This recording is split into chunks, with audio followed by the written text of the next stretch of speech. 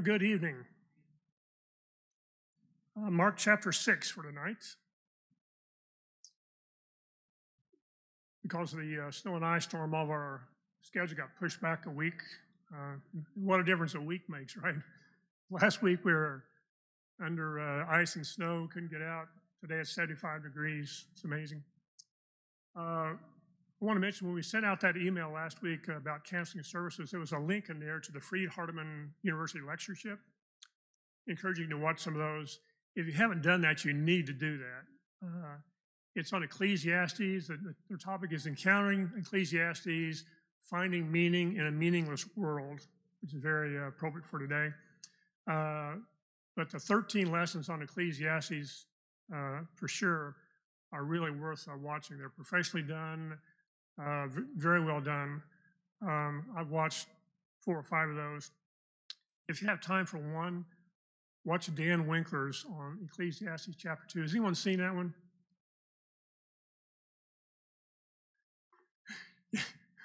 you need to watch that. Uh, it's, it's just amazing. Um, a little trailer, not, not to spoil anybody's uh, anticipation of that, but uh, Brother Dan goes through uh, uh, second chapter of Ecclesiastes where Solomon is looking for the meaning of life. And of course, uh, he doesn't find it in chapter two. Uh, but Brother Winkler uses that to guide us to what our goal in life should be. It may not be what you think. Um, I was a bit uh, um, not surprised, but uh, delighted, I guess, in, in, Dan's take on that. It was really good. He takes us to our goal in life, what our guide should be. That shouldn't be a surprise, and some guideposts um, he does a really good job on what the meaning of life is. What is it we should be doing? It's really, really good. And he ends the lesson with two words that he says will absolutely pinpoint what's important in your life. Tells you two words. Those two words will tell you what's important in your life. You may or may not guess what those are. Anyway, it's very good. That's kind of to wet your whistle. List of those. Click, click the link. Uh, they'll be there for a while, but those are really, really good. So I encourage you to to look for those. So, Mark chapter 6 uh, for tonight. And the last one I did was Mark chapter 3, and a lot of things uh, sort of go hand in hand as far as what Jesus is dealing with. And um, so I'm glad to be able to do these uh, sort of in, in, tandem. Let's start with uh, reading the first uh, six verses of uh, Mark chapter 6. speaking of Jesus, he went away from there and came to his hometown, and his disciples followed him. And on the Sabbath he began to teach in the synagogue, and many who heard him were astonished, saying, Where did this man get these things? What is the wisdom given to him? How are such mighty works done by his hands? Is not this the carpenter, the son of Mary, and the brother of James and Joseph and Judas and Simon? And are not his sisters here with us? And they took offense at him. And Jesus said to them, A prophet is not without honor except in his hometown and among his relatives and his own household. And he could do no mighty work there, except that he laid his hands on a few sick people and healed them. And he marveled because of their unbelief. And he went about among the villages teaching. Here we see Jesus has uh, no respect in his hometown. His hometown is Nazareth. We learn in, in uh, Luke that uh, Joseph and Mary lived in Nazareth um, prior to uh, Jesus' birth, and they returned there uh, after having been had to leave uh, because of the persecution of Herod. They left for a time, come back to Nazareth. So uh, Nazareth is where Jesus grew up, and so he calls that uh, his hometown. Now, Nazareth is an unremarkable place. Its only notoriety is the fact that Jesus lived there. There's nothing else know about, about Nazareth, small town, nothing going on there, pretty, uh, uh, not even, it's below average, I guess we'd say. But after John's arrest, we'll John the Baptist, we'll get to John the Baptist here again in a few minutes. But after John the Baptist's arrest, Jesus begins his ministry, but he moves to Capernaum. And so Capernaum is where Jesus lived uh, or spent most of his time uh, during his ministry. He goes back on this occasion back to Nazareth to, uh, to teach there. One interesting thing, I, I find some things in the Bible that you're, you're, you're reading, you thought, I never thought that before. And uh, I found something that I thought was kind of remarkable in Matthew, speaking about John the Baptist. Over Matthew chapter 3, uh, chapter 3, first two verses. In those days, John the Baptist came preaching in the wilderness of Judea, quote, repent for the kingdom of heaven is at hand, unquote. We all know that, right? That's John's message. Go over to Matthew chapter 4 and verse 17. From that time, Jesus began to preach, saying, Repent, for the kingdom of heaven is at hand. I never thought that before. Jesus picks up exactly where John left off. John's mission was to preach, the kingdom of heaven is at hand. John gets arrested, his ministry's over. Jesus takes over. What's his message? Same thing John was saying. He's going to take it further.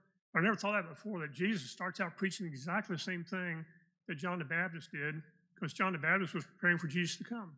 I thought that was fascinating uh, when I made that connection there. Anyway, he goes to the synagogue, which was his uh, practice. We read in other places that Jesus uh, was his custom uh, to go to the synagogues on the Sabbath uh, and there to read. We find him in Luke uh, chapter 4, reading from the book of Isaiah. So he goes there to, to read from the, the, the law, the scriptures, to teach, and also to do some healing.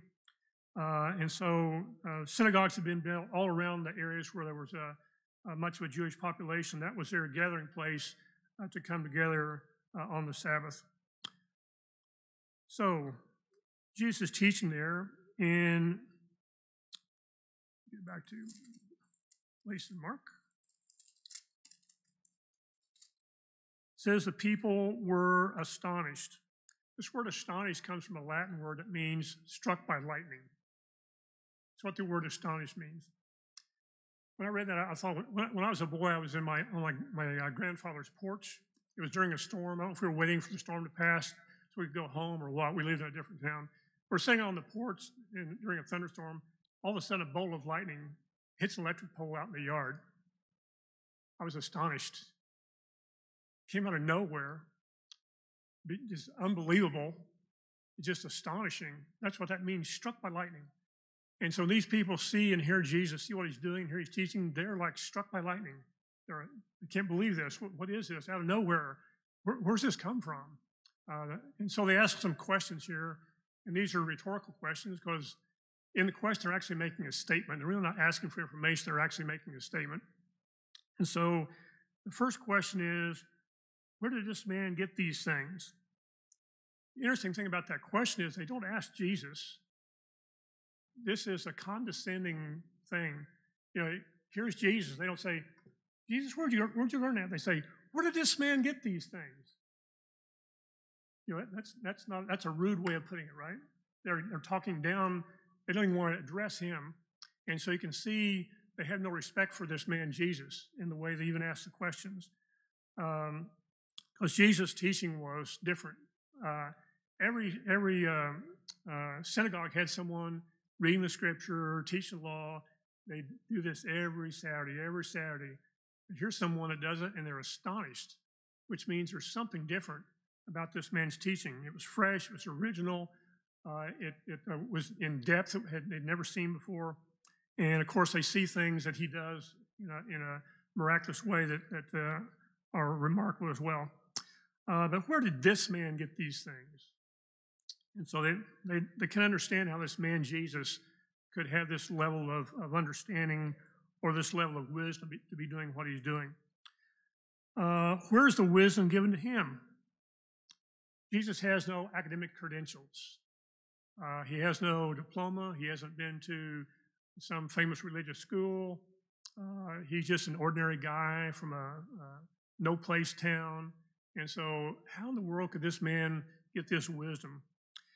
Now, if you look in uh, uh, Acts 22, just as a, a point of comparison, here's Paul addressing the crowd.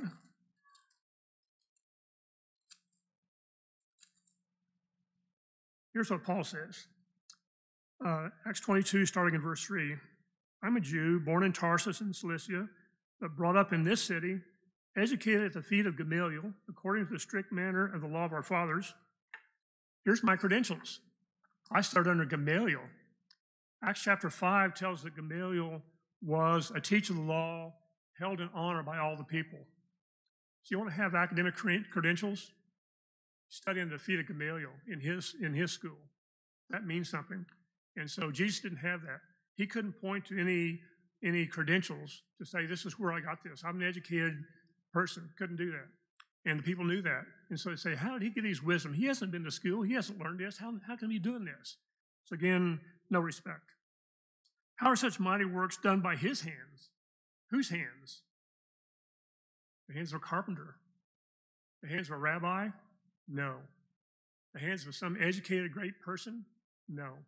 The hands of a noble person? No. The hands of a famous person? No. This guy's a carpenter. Now, they're not downgrading the fact that he's a carpenter, because in fact, the Jews uh, valued trade, craftsmanship.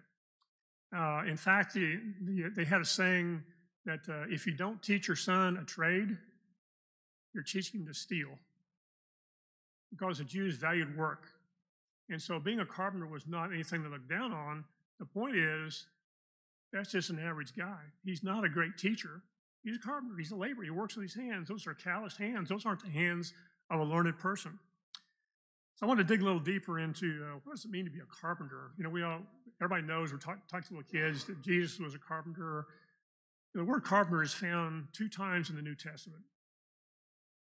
One here in Mark, and one in Matthew's account of the same thing. There he says the carpenter's son. This is not the carpenter's son. That's the only two places we find the word carpenter in the New Testament. That's found several places in the Old Testament. Uh, for instance, talking about building the temple, I talk about some of the craftsmen. Uh, the word carpenter really means a crafter of wood. And so uh, that can mean a, a, wide variety of things. When I was a child, when I learned that Jesus was a carpenter and his, his, his dad, Joseph, was a carpenter, I thought about Pinocchio, kindly old Geppetto, right? I see Joseph. He's, he's in his carpenter shop downtown Nazareth. Uh, there's a sign over the door, Joseph and Sons Carpenter, or woodworking. You go inside, and Joseph has on a, a leather carpenter's apron. There are wood shavings on the floor. He's working on building a chair. Little boy Jesus on the floor. He's playing with some wood scraps, or Joseph's teaching him how to use some wood tools. That's not what this means, I don't think. I don't think that's what Joseph was. The Carpenters Guild was like the unions, and the big towns drew the talented carpenters. Now, some carpenters were carvers, were made fine furniture, really were, were, were high talented craftsmen. Uh, but others just did routine type stuff. Now in Palestine, the trees were not abundant. Remember when they built the temple? Did, they go out in the yard and, and cut down trees for the temple? They got to go to Lebanon for the cedars, bring in cedars from Lebanon. They didn't have big trees, so the trees in Palestine were not typically used to frame houses and do things uh, typically used stone, and uh, the wood might have been used for like roof rafters or to build doors, window frames, whatever. And so the, the use of wood in that area was limited. And so um, Justin Martyr, who is a like a second century apologist, he says Jesus made plows and such.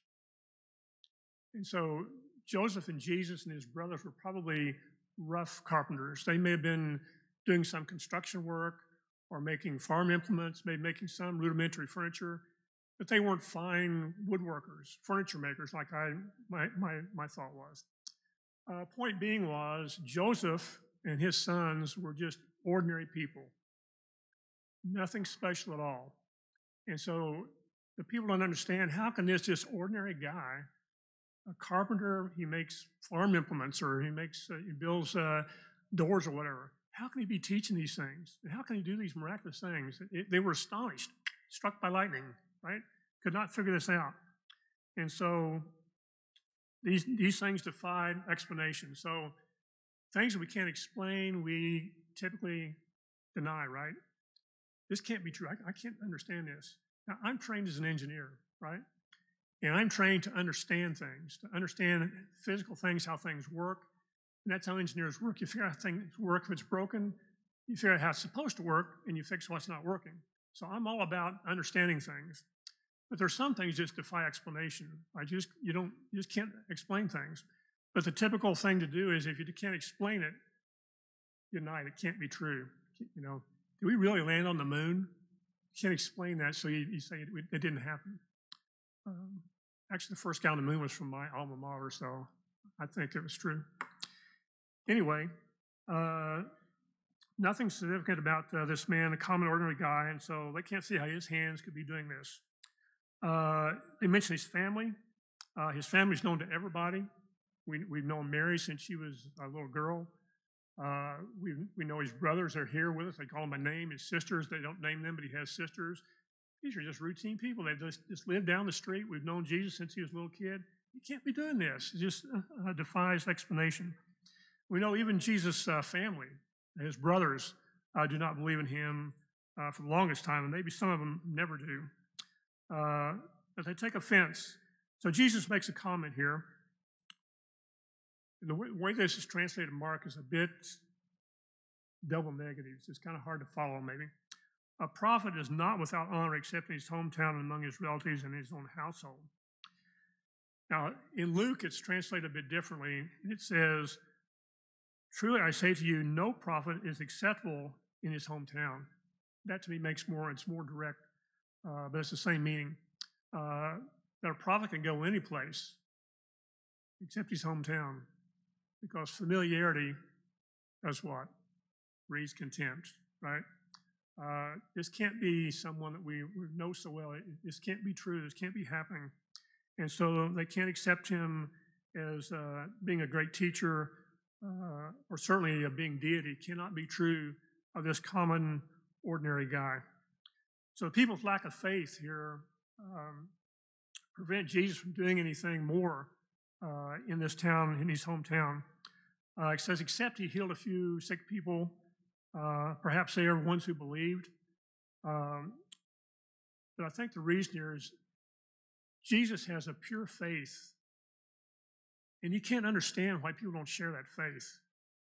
And we see several times in the stories in, in the, the Gospels where Jesus encounters a lack of faith and he's just stunned. You can't understand this. How can you not see this? And the faith he has doesn't allow him to see lack of faith. It just it's beyond him. How can you see what I'm doing and teaching and not believe it? How's this possible? He's just flabbergasted at their lack of faith. And so he leaves Nazareth and goes uh, to other towns and villages where uh, they do accept uh, his teaching. Let's go on and, and read um, 7 through 13. this is where Jesus sends out his apostles, the 12 apostles. Remember, we talked about uh, in Mark 3 where he calls his disciples together, and now that number he chooses 12 to be apostles. The apostles are messengers, these are guys they're going to spend time with Jesus. He's going to train them. Uh, he knows that his time is short. And so if he doesn't get these guys ready, when he leaves, it'll be, it'll be over with. And so these guys have to be ready to carry on and establish a church and, uh, and get things going after, he, after his death. Let's read, uh, starting in 7.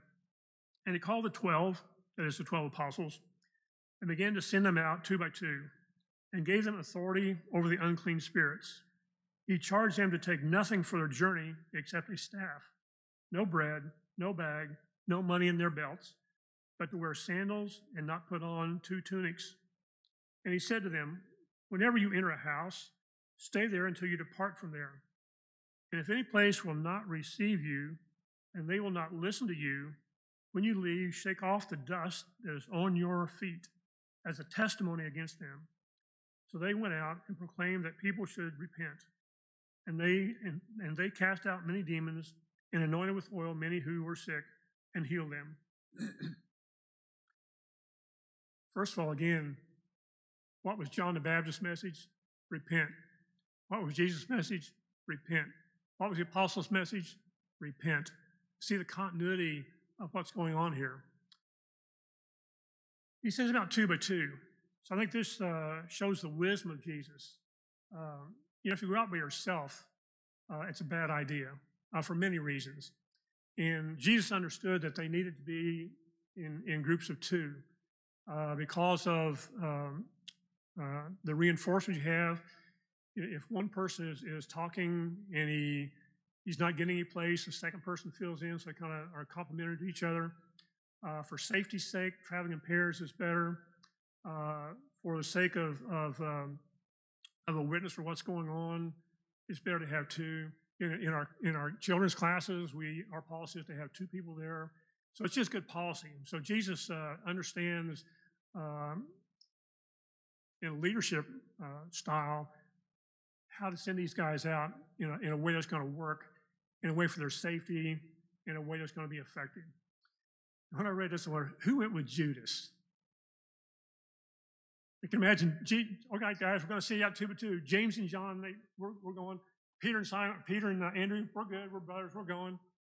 Who wants to go with Judas?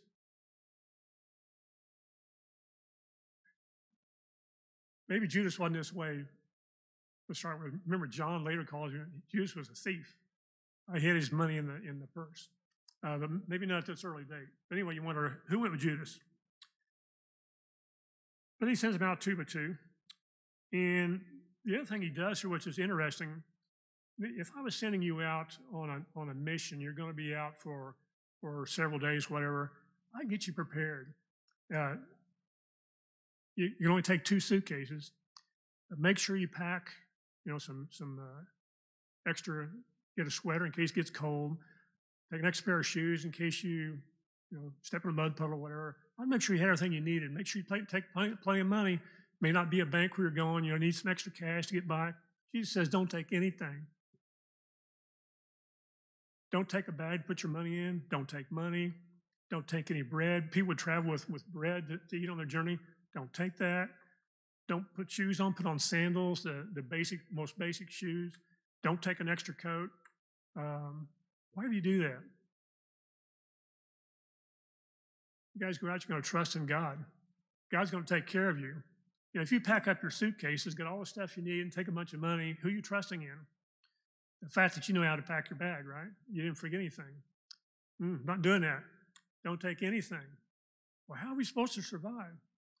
When you go to somebody's house, they're going to take care of you. You stay there as long as you're in that town. You stay there. They're going to feed you. They're going to take care of you, and so don't worry about it. God is maybe God is is uh, preparing people in those towns to be receptive, to be hospitable, uh, and somehow you're going to be taken care of. So don't uh, rely on your own your own self. You know that's not the way we're going to do this. And so uh, Jesus is preparing them to understand that it's not about them; it's about God. God is going to take care of you not just on this trip, but for the duration of your ministry. And so you need to learn right now that you need to rely on God, trust in God. And so that was very insightful on Jesus' part to uh, prepare them in this way uh, to support each other, yes, but to trust in God for their physical necessities, the things they're going to need uh, on their, their journey while they're out uh, doing these things. And it gives them uh, power, uh, healing power. and so as we're going out teaching people to repent, you can imagine someone says, Who are you guys? Who are you to tell me to repent? Uh, we've heard about John the Baptist. He's a, he's a great preacher. Who are you guys? Well, these guys are guys who can do things that prove that they're from God. They're going to do miraculous things to validate the fact that what they're saying is from God. And so they needed that uh, miraculous ability to validate uh, the, the, spoken word in the things they're doing. Okay, the next section is interesting. This is a historical flashback, we might say, because uh, at this point, uh, John the Baptist is already dead. But Mark is going to step back and tell us how it happened uh, because John the Baptist's name comes up. And so he's going to explain why that comes up and, and what's going on here. Uh, first couple of verses here, uh, starting in verse 14, King Herod heard of it, for Jesus' name had become known. Some said John the Baptist has been raised from the dead. That is why these miraculous powers are at work in him. But others said he's Elijah, others said he's a prophet, like one of the prophets. But when Herod heard of it, he said, John, whom I beheaded, has been raised. When you read about Herod, it's confusing because the translators use the word Herod for several different people. You know, if you go back to the first of the Gospels, there's a Herod who is afraid that Jesus is going to take over the king, he, kingdom. He's looking for Jesus, has boy, baby's killed. That's Herod the Great. Herod the Great. This Herod is one of Herod the Great's sons. Uh, this is Herod Antipas. After Herod the Great um, uh, died, his kingdom was kingdom. They're under Roman control. They're not really kings. Uh, but his kingdom was divided into four parts, tetrarchs. And so other places we see, uh, like in Luke, that uh, Herod is uh, Herod the tetrarch. So he was the tetrarch over a fourth part of being Galilee, Samaria, and uh, Perea. He was uh, one of the sons, I think the seventh son of Herod the Great. An interesting thing I, I didn't know before. Again, you find out when you start digging into things, you find out really some interesting things. Herod apparently was not Jewish. Did you know that? Uh, Josephus says that the Herods were Edomites, which are descendants from Esau, not Jacob. Jacob, whose name was changed to Israel, that's the Jewish line from Abraham. Esau, they're cousins, but they're not Jewish. And so I find it interesting that uh, the, the Jewish king is not Jewish. He's a cousin. He's not really king because uh, the emperor of Rome is king. They're really just administrators. Um, but interesting. Uh, now he's married to the daughter of King Aretas of Arabia, uh, probably for political reasons. But he divorces her and he marries the wife of his brother Philip, who is also has been his power has been taken away. He's a nobody. That's probably why Herodias, his wife, left him because he has no power. So she's looking for someone who has some power. So she agrees to marry uh, Antipas. And so uh, Herodias uh, marries um, Herod Antipas. Uh, because of this, King Aretas in, uh, I think it was 39 AD, uh, attacks Herod and defeats his army and takes control and deposes him. And so Herod and Herodias wind up dying in exile. And uh, I think it's Josephus says that that was God's punishment for him doing what he did to John the Baptist. You kill John, you get deposed. And he used King Aretas uh, to accomplish that. Uh, Herodias was also a daughter. So he's marrying, he's marrying into, marrying uh, relatives. The whole, whole, whole story is, is, sort of sordid. It gets even worse here in a little bit. Uh, so John the Baptist uh, uh, sees what Herod has done, marrying his brother's wife, divorcing his first wife, and all this. And John uh, gets in Herod's face and says, "This is wrong. You, you got to quit that. This is this is sin." And so uh, Herod doesn't like this, but the people like John, so Herod doesn't know anything about it. But Herodias is just fit to be tied, and so she's very upset, wanting to find out a way to get rid of John the Baptist. So not only is adultery one of the Ten Commandments, one of the big ones, the seventh commandment, but also if you look in Leviticus, uh, you're forbidden to have relations with your brother's wife well as several several uh, near relatives were mentioned there, but your brother's wife is specifically mentioned. So Herod is guilty of two sins, and John the Baptist isn't going to let this go. I think John the Baptist could have said, "Hey, this guy's king. need to give him a pass here, right?" Or, "Who am I to get involved in this? This is going to stir up trouble. I get thrown in jail for this. Yeah, I'm going to leave this alone." John the Baptist couldn't let it go and could not let it go. And he keeps telling uh, Herod, uh, this is a sin. And you're the king. What are you doing here? You're supposed to be an example to us, and you can't do this. And so, a good point here, a whole other lesson would be that uh, even though Herod is not Jewish, John the Baptist calls him on Jewish law. Point being, God's moral law doesn't just apply to those who believe in God. It doesn't just apply to Christians. You can't say, I don't believe in God, I'm atheist, so therefore adultery doesn't apply to me. You can't say that because that's a moral law that applies to everybody. You can't say, well, I'm, um, I'm Hindu or whatever, so your Christian law doesn't apply to me. wrong. God's moral laws applies to everybody, whether you accept it or not. So that's a good point here in this story. King Herod was, a, was subject to those laws, whether he wanted to be or not. Okay, so um, for sake of time, I think we're not going to read this whole thing. You're probably familiar with this uh, story. Uh, along comes uh, a birthday party, and um,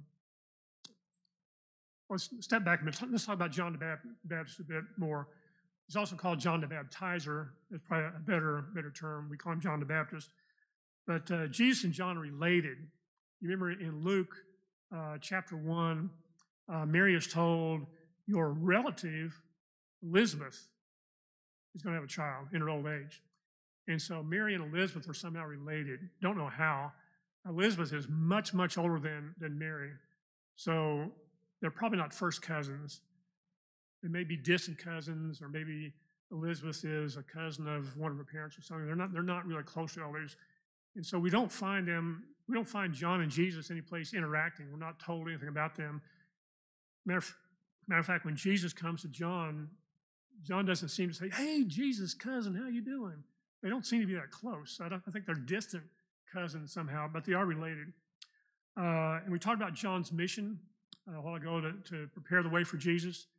And one interesting thing John says, uh, I think it's in John 3 30, the, the Gospel of John uh, 3 30. John is talking about his mission. He talks about this one who's coming after me. I'm not worthy to even untie his sandals. He's much greater than me. I must decrease and he must increase. I think that was, that was prophetic, but John understood his mission. John's mission is going to have an end. And that was when Jesus was to, to take over. Problem being, John still had disciples when Jesus was starting his, his ministry, his disciples. And as long as John was alive, those disciples were going to stay with John. We see John's disciples coming to Jesus to ask him, why did they just come to Jesus and stay? Because they're disciples of John the Baptist. And so John the Baptist has to go away in order for Jesus to get those disciples. So there's always going to be a faction there as long as John's alive. So I suspect that this whole thing of John's demise is part of God's plan. That John couldn't continue as long as, as Jesus uh, continued because that was going to cause a conflict. John's disciples weren't going to come over to Jesus uh, while John was there. Um, so anyway, uh, there's a birthday party, and Herodias' daughter, who Josephus says her name was Salome. Uh, this gets even more, more sordid because uh, Salome was the daughter of Philip, Herod's brother, and Herodias. So Salome is Herod's niece and his stepdaughter, and probably a young girl, early teens, we would guess, because she's, she's unmarried at this time, apparently. And so she comes in and dances before the, the crowd, the king, and pleases the king, which means it was probably a lascivious sort of dance of his niece and stepdaughter. And so Herod says, Oh, Salome, that would be wonderful. I'll give you anything you want, up to half of my kingdom. She don't she doesn't have a clue. What? What does that mean? So she's an innocent young girl. So she goes to her mother. Her mother is a terrible person, right? Because she tells her daughter, go ask for Herod, Herod to kill John the Baptist and bring his head on a platter. Can you imagine telling your teenage daughter that? This is terrible, terrible person. That's what she does. And so Salome doesn't know. She goes and tells Herod. Herod doesn't like that because he, he sort of liked John. He knew the people like John, but he wasn't, wasn't going to back, back down his promise, so he does that. Sends to prison, has John beheaded, and brings the head of John the Baptist on a platter into this birthday party. Terrible. Now, I'm I, I've read this story, heard this story so many times that I don't react to it. And I wish I could remember the first time I heard this story. I'd be shocked. Wouldn't you be shocked if it's the first time you heard this story? That the king has his niece and stepdaughter come and do a lascivious dance, and, and his wife has this teenage girl come and ask him to kill a person and bring him the head on a, on a platter. This is this horrible story. Horrible, horrible. Uh, let's say we, we become callous to that sort of thing, I guess. Uh, but that's what happened to John the Baptist. So what Mark is doing here, because Herod is a bit superstitious and he is guilty of what he did to John the Baptist, he thinks that Jesus is a reincarnation. And so Mark wants to tell us why Herod would think that. Uh, because Herod did something very heinous in, in killing John the Baptist. Okay, so that is that story, sort of a, an aside in the, in the story. So uh, let's look quickly at Jesus uh, feeding the 5,000. Uh, got about five minutes left. Uh, let's start in verse uh, 30. I'll read through this uh, really quickly. The apostles returned to Jesus and told him all that they had done and taught. And he said to them, Come away by yourselves to a desolate place and rest a while. For many were coming and going, and they had no leisure even to eat. And they went away in the boat to a desolate place from, by themselves. Now many saw them going and recognizing them, and they ran there on foot from all the towns and got there ahead of them. When he went ashore, he saw a great crowd, and he had compassion on them, because they were like sheep without a shepherd. He began to teach them many things, and when it grew late, his disciples came and said, this is a desolate place, and the hour is now late. Send them away to go into the surrounding countryside and villages and buy themselves something to eat. But he answered them, You give them something to eat. And they said to him, Shall we go and buy 200 denarii worth of bread and give it to them to eat? And he said to them, How many loaves do you have? Go and see. And when they had found out, they said, Five and two fish. And he commanded them, all to sit down in groups on the grass, green grass. So he sat down in groups by hundreds and by fifties, and taking the five loaves and the two fish, he looked up to heaven and said a blessing and broke the loaves and gave them to the disciples to set before the people. And he divided the two fish among them all, and they all ate and were satisfied. And they took up twelve baskets full of broken pieces and of the fish. And those who ate the loaves were 5,000 men. Of course, 5,000 men could, the total number of people could be two or three times that amount. Don't know how many people were there, but a lot of people. So this shows a couple things about this man, Jesus. One is compassion, we've seen before. Uh, Jesus could not pass up someone in need. It didn't matter what the need was. It's sickness or uh, infirmity, whatever, or in this case, hunger. He couldn't see this big crowd. Now, if this auditorium were filled, it would hold 500 people. Imagine 5,000 people. 10 times the size of this auditorium. How much food would it take to feed 5,000 people? Even a little bit of food. That's an incredible amount of food. And so, what do they have? Handful, just a handful of bread and fish. But Jesus used that to multiply and feeds 5,000 men, plus whatever women and children were there. Tremendous amount of food. So, this was a, a huge, big big miracle that, that Jesus did here. Uh, and we see his organization as well. Can you imagine 5,000 people? How are we going to feed 5,000 people? Start a line. 5,000 people. can't do that. Sit down.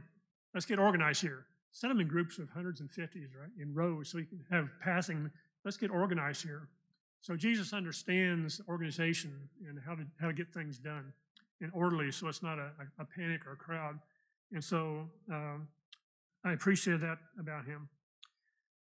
All right, last uh, story here we're going to look at is uh, starting in verse uh, 45. Immediately he made his apostles get into the boat and go before him to the other side, to Bethsaida, where he dismissed the crowd, while he dismissed the crowd. And after he had taken leave of them, he went up on the mountain to pray. And when evening came, the boat was out on the sea, and he was alone on the land. And he saw that they were making headway painfully, for the wind was against them. And about the fourth watch of the night, he came to them, walking on the sea.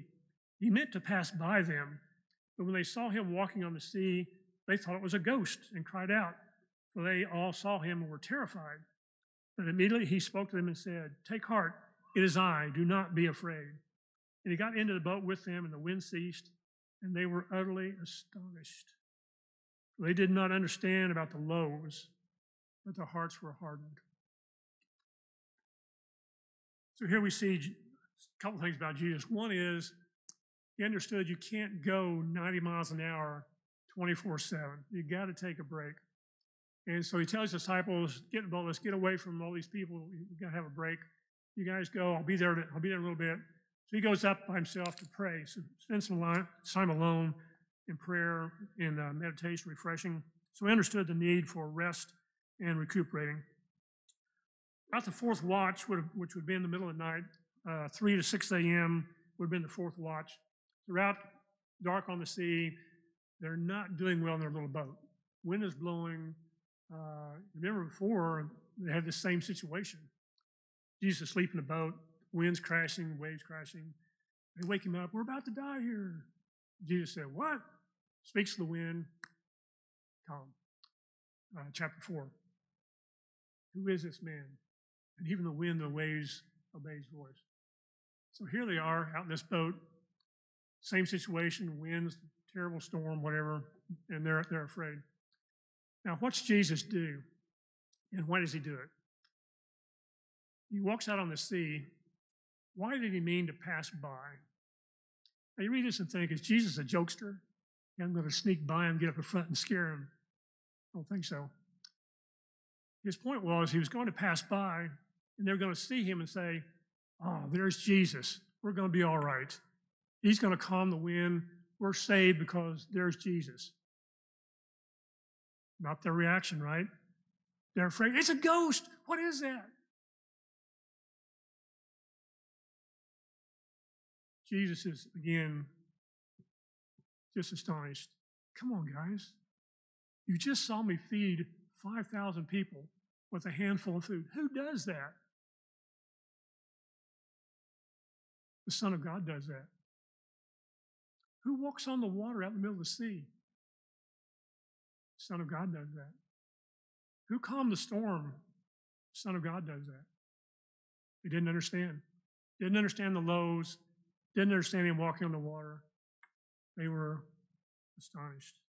Couldn't, couldn't understand that.